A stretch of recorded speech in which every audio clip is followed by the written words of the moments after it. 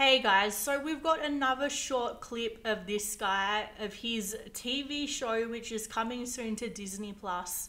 I don't think there's going to be a lot of new footage in it, but we might as well have a look and see. So, for anybody who knows me well, I am a huge Loki fangirl, so this is definitely the Marvel TV show that I've been the most excited about. Loki, yay! Insubordinate.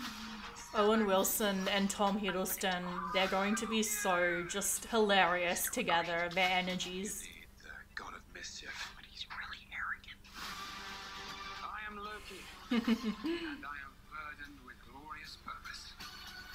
Unbelievable. Wherever you go, it's just death, destruction, the literal ends of worlds. I know. He's like, is that a bad thing? Yeah, so look, it's like I thought, we're not getting a lot of new footage, and what we see there is the same old stuff basically, but it looks pretty amazing. So we see that Loki is pretty arrogant, he's pretty full of himself, you know, he probably still wants to take over the world. But now he's getting, you know, chained in once again by people you know, first he got taken to the Asgardian prison, and now he's going through this. Like, the guy just wants to rule the world. Why don't we just let him? but seriously, guys, thank, thanks for watching, and if you want to see more videos from me, please consider subscribing.